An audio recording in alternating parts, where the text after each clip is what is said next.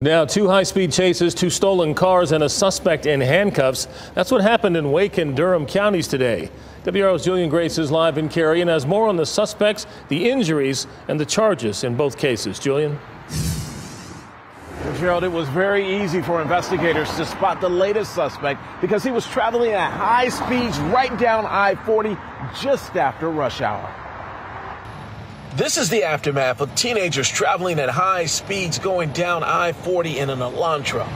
Wake County deputies were in pursuit. That's when the driver lost control and crashed into a tree. The driver and all four teenagers were transported to the hospital with non life threatening injuries. And all of this happened while the exit ramp on Cary Towne Boulevard was blocked for more than two and a half hours.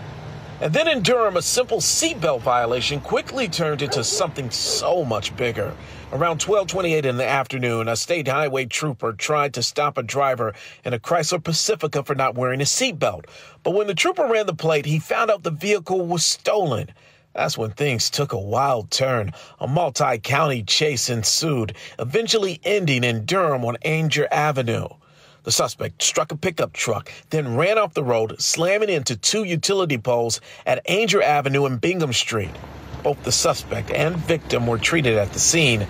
Then the driver, 27 year old Devon Hester Jr., was arrested and now faces a slew of charges, including felony assault with a deadly weapon.